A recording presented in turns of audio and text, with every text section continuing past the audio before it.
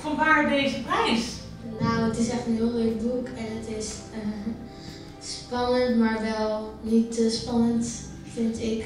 Ik hou niet heel erg van enge boeken, maar ik vind het wel niet te spannend. Wil jij dan zeggen om welk boek het gaat?